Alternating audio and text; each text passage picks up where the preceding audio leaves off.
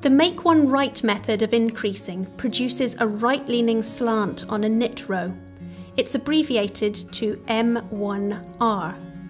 You might be asked to increase stitches at any point along a row, but to emphasise the fact that this creates a right leaning slant, I'm putting mine right at the edge here. I'm going to have two stitches of a selvage and then I'm going to insert a stitch, a new stitch in between these two stitches.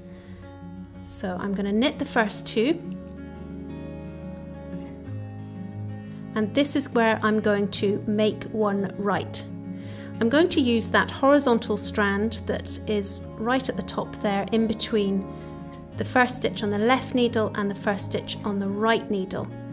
And I'm going to take the tip of my left hand needle and bring it around the back towards the front to scoop that horizontal strand up.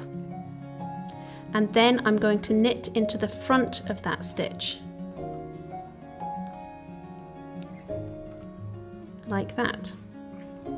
And that is the new stitch created and I can go on with the rest of the row and that new stitch will sit neatly in between the other stitches with a very slight right leaning slant.